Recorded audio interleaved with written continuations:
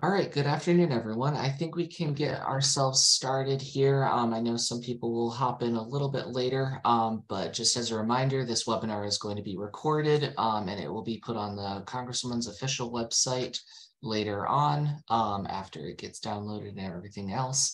Um, I'm Michael Stadelmeyer. I'm with Congresswoman Claudia Tenney's staff. I am here uh, to help present today with our monthly webinar series.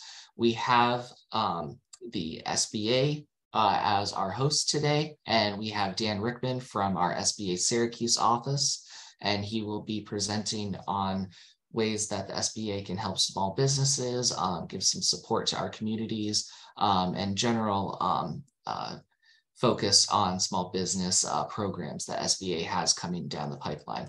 So Dan, with that, I will hand that off to you.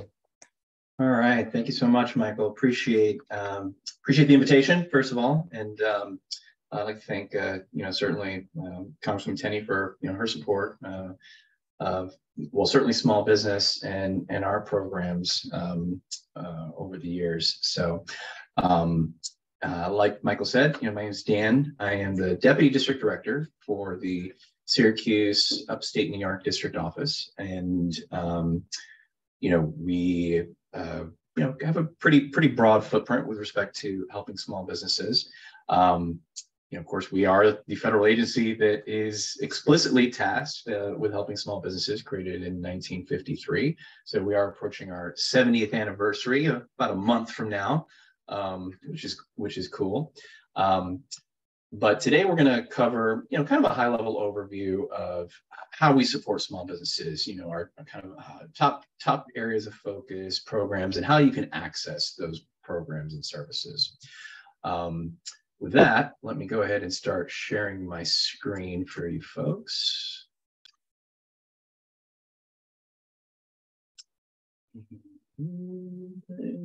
That's the one, all right.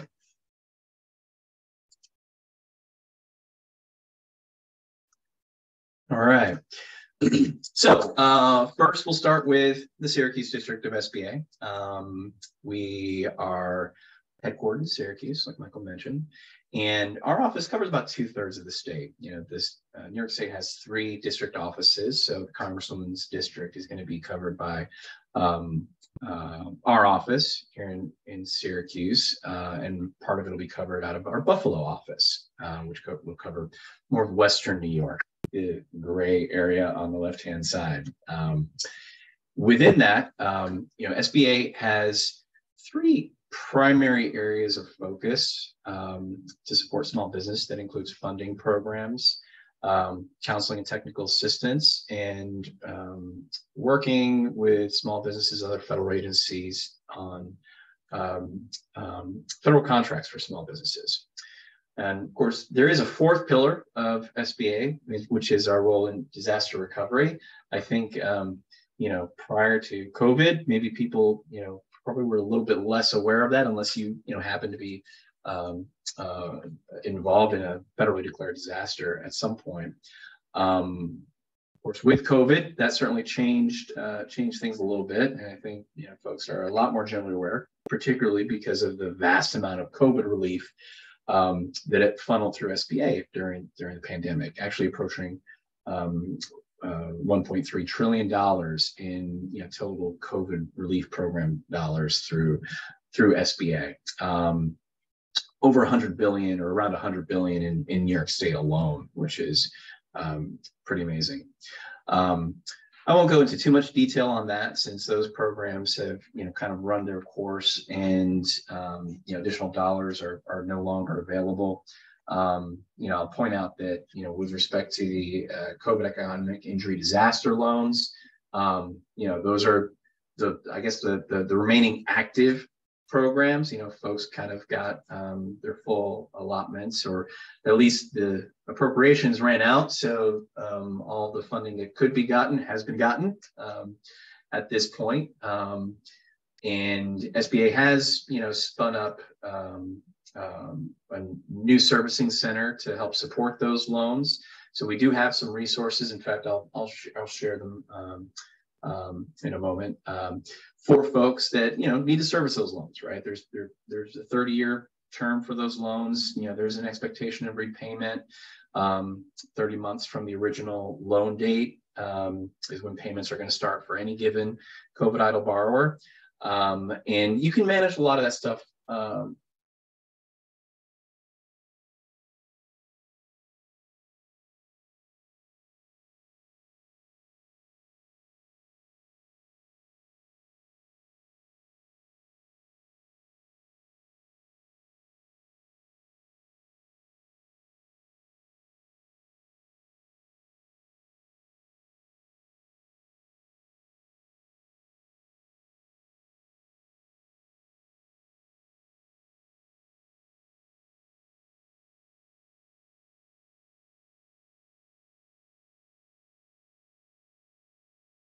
I apologize, Dan. Are you still there? Can you hear just fine? Okay, it looks like I lost connection for just a second.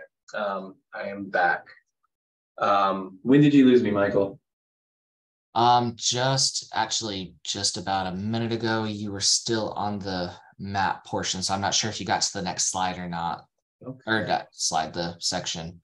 Um, you're just going over the um, kind of end of uh, pandemic relief programs. Okay, great. So, um, picking back up where I left off here. Um, so the COVID EIDL program is pretty much the the last remaining, I, I guess you would say, uh, uh, still active program in that you know there was a lot of dollars that went out, and um, those loans to borrowers were 30 year loans, right? Um, and you know we're still getting a lot of questions about that. Um, over the last few months, SBA has staffed up um, new COVID EIDL servicing centers, and we've added a lot of self-service capabilities to uh, those loans um, via new, a new MySBA loan portal. Um, so, um, you know, there is some enhanced functionality for self-service, making payments and that sort of thing. Um, if you visit sba.gov slash EIDL, easy enough URL to, to uh, remember, you're taken to this screen here. And I would direct folks to, you know, if you want to manage your COVID-19 EIDL, this is the page you kind of want to take a look at. Um, this is where you're going to see, you know, general updates about the program. You're going to see make a payment to SBA, a lot of those links, because again, this the COVID EIDLs were loans, not grants. Okay, um, Congress is part of the uh, CARES Act and the COVID EIDL um, program launched did not give SBA the authority to, you know, or appropriations to forgive these loans. Uh, so currently, um, you know, SBA, you know, has to treat these like any normal commercial loan and, and service them accordingly. And um, if folks don't pay, then they can expect uh, collection activities from SBA. Um, however, there are some um, hardship deferment accommodations that are available to borrowers that folks can access via the new MySBA loan portal. Um, if their loan is under $200,000, you can do everything within the portal. Above that, you do need to contact the COVID EIDL uh, Servicing Center. Um, and you can see here under the request of lien subordination or other servicing actions, there's contact information um, for the COVID EIDL Servicing um, Center. Okay. We do ask folks to kind of direct, you know, um, all of their, their questions to the COVID EIDL Services Center. They're best positioned to, you know, help you on your individual loan um, you know, particularly when it comes to things like changes of ownership and, and like I said, requests for subordination. Um, if you're wondering what a request for subordination is or why I'm mentioning that, um, as part of the loan authorization, when folks uh, uh, received a COVID EIDL loan, um, any loan over $25,000, um, a lien was placed on the business personal property. So furniture, fixtures, equipment, inventory, right? Um, and if you are obtaining new financing through another financial institution, you know, they may want an interest in that property, maybe a, a first position on that uh, property. So it is necessary to kind of, you know, put an application SBA for any subordinations on, on um, those liens. Other things like changes of ownership or getting a, a new owner to like uh, assume uh, responsibility for the loan or anything like that, releasing collateral, you know, say you want to sell a piece of equipment, right? Um, all of that does require prior authorization from SBA. And this is not, you know, atypical for any type of commercial loan, right? Um, but, you know, folks should be aware that they need to reach out to COVID EIDL servicing SBA.gov for these types of things. So um, with that, you know, we'll kind of close the door on the COVID programs and we'll talk about all the other stuff that we do at SBA and, and we've done for, for many, many, many, many, many years. Um, I mentioned at the beginning, our primary areas of focus are funding, our loan programs, our counseling and technical assistance programs, and our federal contracting programs. So um, talking about the loan programs first, um, you can see here, there's a link on our website. And I'm not doing the PowerPoint slide because I think folks are probably PowerPointed to death. Plus, um, this is where the slides always direct you anyways to our website. Um, and you can see we have a variety of uh, funding programs available for, for small businesses. Um, you can see here, they're primarily, I think SBA is primarily known for loans for startup or expansions. Um, there are also um, investment uh, vehicles um, for um, um, through a program called the Small Business Investment Company Program, which is for more mature companies where SBA funds uh, uh, equity investors to be able to make leverage investments into small businesses. Um, SBA has surety bond, a surety bond program to make it easier for uh, contractors, for example, in particular federal contractors, to um, get the uh, uh, uh, uh sufficient capital to secure a performance bond or a bid bond, for example. I'm not going to go into definitions for all these things because if you know what they are, you know what they are. Um, but SBA does um, provide some guarantees to you know make it a little bit easier for businesses that don't have as much liquidity, for example, uh, to put up a, a, funds for a bond. Um, and you know, we always kind of have always said that you know SBA doesn't do grants, um, and then COVID, and then PPP and all these other programs happened. Well, we're not we're back to not doing grants. However, the federal government does do grants for scientific research and development, and we work with federal agencies on those programs. Um, but that's more about like original research, right, and providing um, that of, of, interest to the federal government, Department of Defense, that sort of thing. Those are the granting agencies. Um, and we work with them to kind of promote those programs through the uh, Small Business Innovation Research Program. Um, but we're here to talk about mostly loans because that's what applies to the vast majority of uh, businesses. And SBA does uh, have loan programs, as I said, for startup or expansion. Um, but we don't do direct loans. Okay. You see here, we guarantee loans that lenders make to businesses to expand this, you know, the, the universe of um, borrowers that would be eligible for commercial lending. I think what, you know, a common um, experience for small businesses and I think folks are kind of generally aware of that, is that it can be hard to get startup financing for uh, for a, like a conventional loan from a bank, for example. Um, and even if you're an existing business without you know significant collateral um, uh, or you know a, a, good operating history, sometimes three to five years based on a bank's um, um credit policies, it might be difficult for an existing business to get a loan. And that's where SBA steps in. Um, what we do is work with banks to provide guarantees uh, on you know eligible small businesses and that essentially is an insurance policy for um, the bank and that guarantee can be anywhere from 50 to as much as 90% of the total you know loan amount uh, that SBA is guaranteeing or insuring to the lender to make a loan that they, again, otherwise wouldn't be able to make due to, again, what being a startup or not having collateral or things of that nature. None of those are reasons that you know uh, would make a uh, make it so an SBA, you know, uh, wouldn't guarantee that loan. Okay, so it reduces the lender's risk essentially. Um, we have a variety of loan programs and you know the loans can be used for um, any typical, you know, commercial loan purpose, whether it is building a building or working capital or purchasing inventory or doing a build out on a new lease for a business or you know uh, buying equipment right? Um, you know there's nothing i guess inherently different about an sba loan than from a, a, a any loan you would get from a from a bank. Lines of credit even um, can be guaranteed by sba um, what sba does is simply um, set some upper limits to terms and interest rates um, that bar that lenders can charge for these loans and the terms that they can extend to borrowers.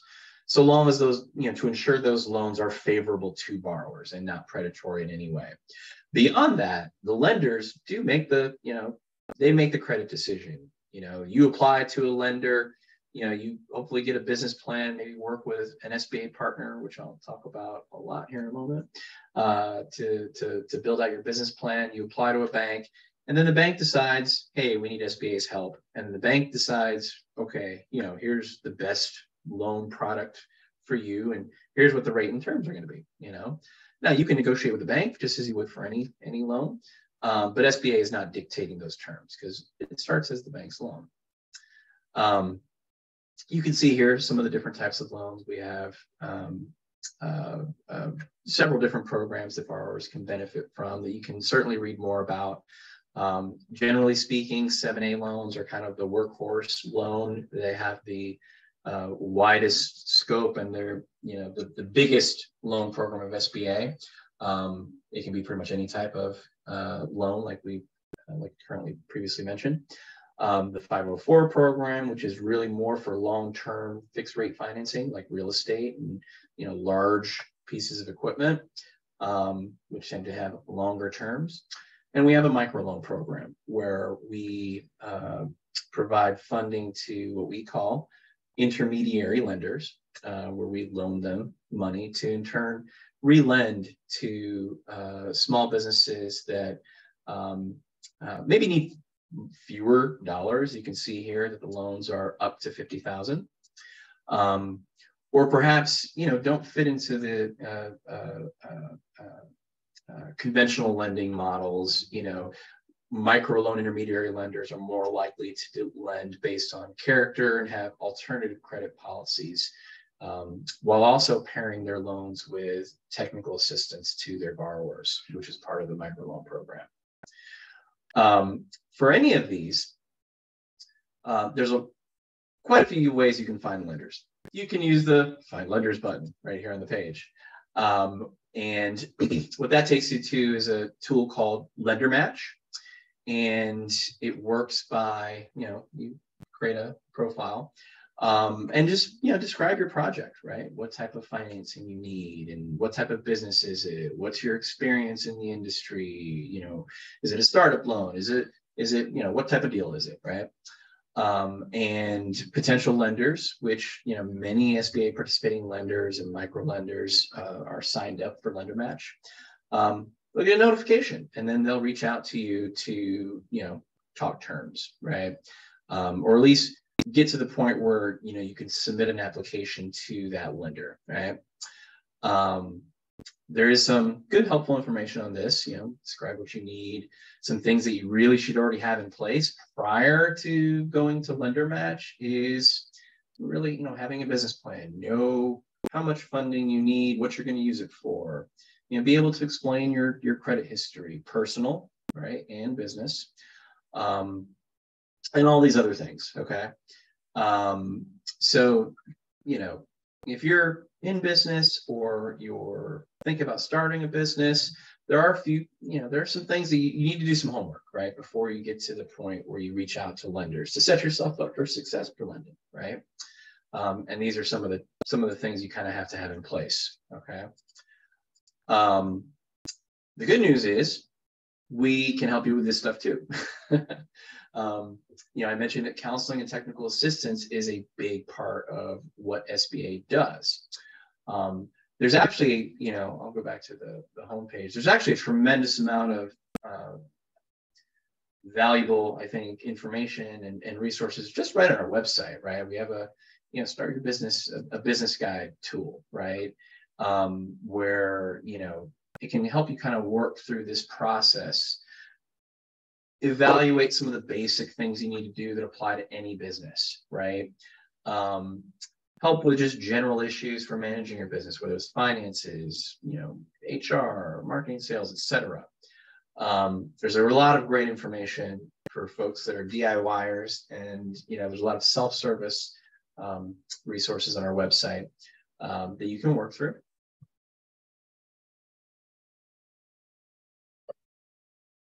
Um, and I would encourage folks kind of like, you know, uh, uh, explore it a little bit. Um, it's organized pretty straightforward fashion. There is, in addition to, you know, some of the topical things, we have a learning center um, and a couple of other kind of programs that are um, varying degrees of, you know, uh, uh workshops versus, you know, instructor led versus asynchronous. The learning center is kind of more of the um, um, take these courses as you go type of thing, right? And you can see there's a variety of topics you can work through, okay? Um, the Ascent platform is uh, geared towards women entrepreneurs, and it provides some modules for um, different types of kind of small business journeys. Um, while it's targeted towards women entrepreneurs, any business can, um, or anybody actually can tap into this. This is all kind of asynchronous and um, you can explore this tool too. Okay. Um, a lot of helpful information in here. Um, Boots to Business is a program we offer to veterans and um, their uh, spouses. And that is an instructor led kind of curriculum um, that has kind of two components. One is the Boots to Business that is provided directly to transitioning service members.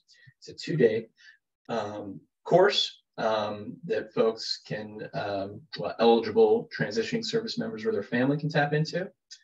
And there is a version called Boots to Business Reboot, which interestingly, I don't see it on this page. They must have moved some things around um, that is offered locally on kind of an ad hoc basis um, in various uh, locations across the country. They're typically led by um, our veteran business outreach centers, which I'll share more about um, in a moment. Um, and finally, we have the Thrive program, which is uh, happens once a year um, across the country. Um, there's uh, locations that, uh, well, all across the country. You can see here, district offices all across the country host this program. And it is a kind of a cohort model for mature companies, right? To develop skills and develop a strategic plan to launch their business to the next level. Um, the window for this this year is closed, but it'll open up again um, next year around probably April, May timeframe. Um, and the participating offices will change every year. Our office in Syracuse has hosted programs in years past um, here and in Albany.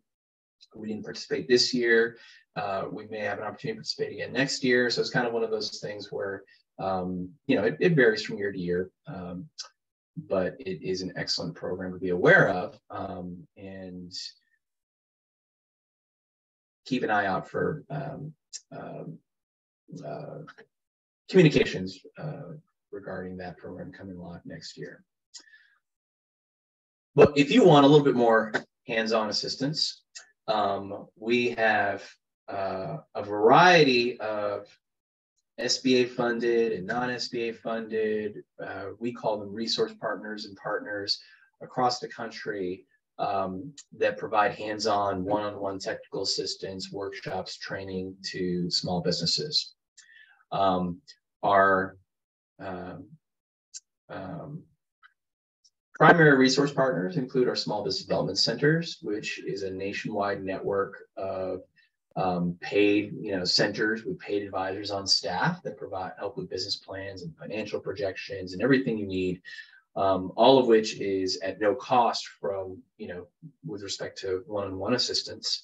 Um, and is available, like I said, across the country. Here in New York State, we have 23 centers, for example. Um, and the centers are hosted by SUNY, which is kind of cool. So they're usually co-located with um, SUNY affiliated institutions um, across across the state. We also have SCORE, which is a um, actually let me just link here. There we go. Uh, SCORE, which is an all volunteer organization that provides mentorship and counseling to businesses again, you know, at no cost for one-on-one services. Um, many, you know, oftentimes a SCORE volunteer might be a retired business owner or business executive. Sometimes they're still in business and they just want to donate their time to, you know, kind of help mentor the next generation of business owners in their community. And again, there's chapters all across the country. Um, you know, here in upstate, um, we have in you know my district the Central New York um, chapter that's headquartered in um, here in Syracuse, and there's branches in Auburn and Binghamton uh, and Utica. There's also an Albany chapter. Um, they're looking to uh, uh, spin up a new branch in uh, the North Country up in Watertown, um, which is pretty cool. Um, there's also chapters in Buffalo and in Rochester. Um, and of course, you can click these links, find a mentor or find SBDC in your area. Um, veteran business outreach centers I mentioned, um, they predominantly focus on the Boots to Business program and often host um, the Boots to Business reboot for you know veterans and their families that are not in service anymore. You can find the uh, outreach center in your area. I'll just tell you there's one um, cover that covers uh, our state. They're headquartered in Albany, um, and they serve the entire state of New York. Um, and you can reach out to them at any time if you're uh, if you'd like. And finally, we have women's business centers. Um, in upstate, we have women's business center in Buffalo, and we have one in Syracuse. Um, and again, they focus on you know primarily you know they target their counseling and resources to women entrepreneurs, but um, all their services offered on a non-discriminatory basis, so um, anybody's welcome to participate. So you can read more about you know the resource partners. Um, I'll share another way, uh, another resource partner, which is our community navigators. So that is a pilot program that was created with the um, it was the Economic Aid Act. And um, this was funding that was provided to community organizations to expand SBA's reach to underserved communities. Um, there is a number of, yeah, it, it kind of, do you envision a hub and spoke model where there's like a hub organization that provided funding to, you know, maybe smaller spoke organizations that were located in targeted communities. That's the way to think about it. Uh, we have a variety of hubs and spokes in upstate. Um, in um, Rochester Economic Development, uh, Corporation is a community navigator grantee. The Urban League of Rod Chester, I believe. Uh, don't quote me on this. I'll show you where we can, you know, you can find any of these folks um, across the country. But um, again, they're part of the SBA family. They provide financial, you know, uh, uh, uh, assistance with everything we've talked about, right? In terms of uh, helping you with your business plan, training, that sort of thing. But they're just a little more targeted to certain communities. Okay.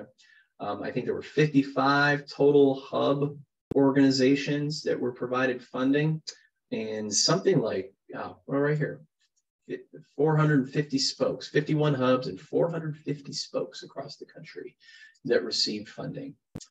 Um, for really, you know, you don't have to remember any of this though, um, because the simplest thing to do, I should start with this, uh, is to just find your, your, your nearest resource. So whether you're in, you know, here in Syracuse, you type up type in your zip code um, and find you know the nearest SBA funded partner. You see, you know, um, by typing in your zip code, you'll find which serve office you're served by. In this case, my office.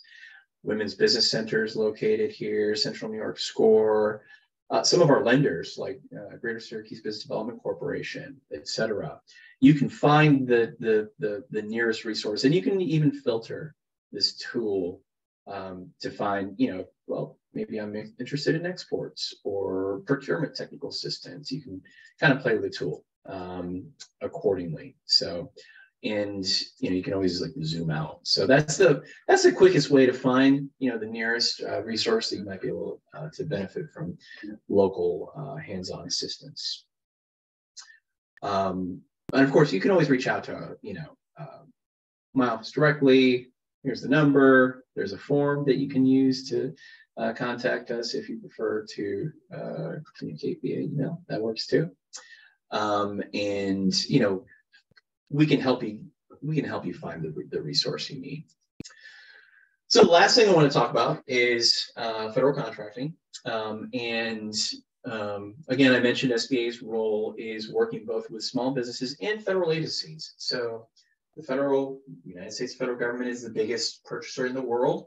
I don't think that surprises anybody, um, but it's somewhere in the order of 500 billion, give or take a billion or 100 billion dollars every year. It's called non-defense discretionary spending, and there is an, a government-wide goal to direct 23% of that spending to small businesses. Um, and again,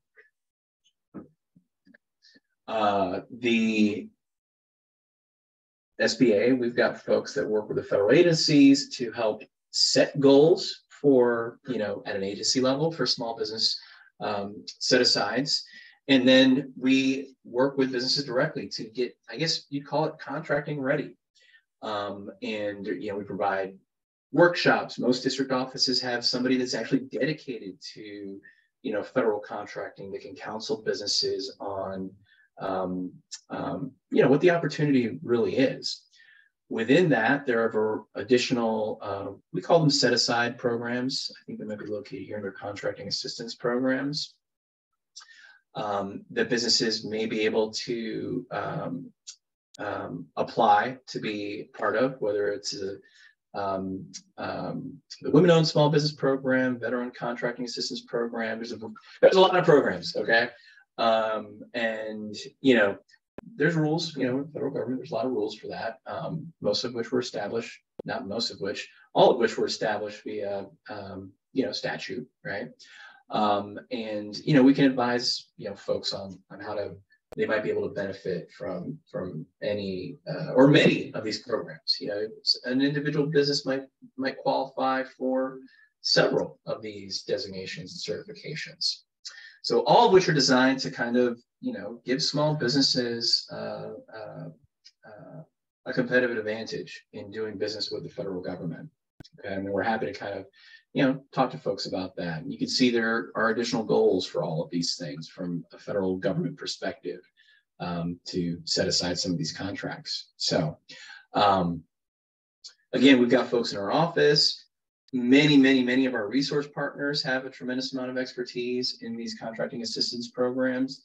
And, you know, we're kind of happy to, you know, uh, uh, uh, happy to kind of, you know, counsel folks and, and, you know, identify what the opportunity is for their business. I will say generally, as a, uh, generally speaking, doing business with the federal government isn't really for startups, you know, uh, it, it can be difficult for a startup to, to compete. Um, you know, so when we talk about being contracting ready, you know, you know, we we we we not we the SBA, but you know, federal um, government um, uh, procurement officers, you know, like to see businesses that have some sort of work history that they can uh, uh, demonstrate their capability of performing on you know contracts and that sort of thing. So but we you know we work with you know we work with uh, folks kind of evaluate that we also work with, you know, state and local governments too, because a lot of times, you know, that's where businesses kind of get their feet wet is, you know, working first with county or municipal governments before they start getting into state and federal contracts. Subcontracting is another option. Um, I, I think many folks aren't aware that, you know, you've got like we call them prime contractors, but large prime contractors think like Lockheed Martin, um, for example. Um, they get contracts from the government too. But for those larger contracts, SBA literally requires, um, and the agencies require, that those big corporations have subcontracting plans to direct a certain amount of dollars for those larger contracts to small businesses too. So that's another way you can get into doing business with the federal government is as a subcontractor. So ultimately, all this you know should be part of like a well-developed business plan, right? So I think no matter what, it kind of comes back to you know figuring out what it is you want to do or where you want to expand your business. And SBA does have resources to kind of provide guidance, technical assistance, and funding via our various loan programs to help um, get you to that point. So with that, I think that's a decent amount of time for uh, me, and I'll uh, stop sharing. I don't know if we want to open up for Q and A or if there was any questions, Michael to yeah, address? Great. Thank you so much, Dan. I appreciate it. Um, and again, on behalf of Claudia, thank you very much for doing this. This is incredibly comprehensive. Um, if anybody does have any questions, feel free to use the Q&A function below. Um, while that happens, I am going to share my screen just because, Dan, I know you cover kind of a massive portion of upstate New York, but we actually split our district with the Buffalo SBA. Right. Um, it's so almost half and half, isn't it? Yeah, so just for the sake of the recording, I'm just going to share my screen and kind of share the um, contact information for the Buffalo SBA office as well. So that if anybody wants to kind of see um, that they have the same exact website set up um, as well and all the same resources and everything, just, just different offices in Rochester and Buffalo. And they both cover pretty much the other half of our district. So two different SBA offices, both with the same mission, both with the same service, um, excellent people in both of them. So, um, but yeah, since the recording will be taking that as well, um, that way people can see the uh, local offices out there. And let me just double check to see in the Q&A. Um, I don't believe I see anything in there. Uh, so I think we can probably leave it at that. But again, this uh, webinar is recorded, so we will be posted on the official website for the Congresswoman um, over in her webinar series. And feel free to reach out to our office if you have any questions, and feel free to reach out to the SBA, both Syracuse, uh, Buffalo um, headquarters for them.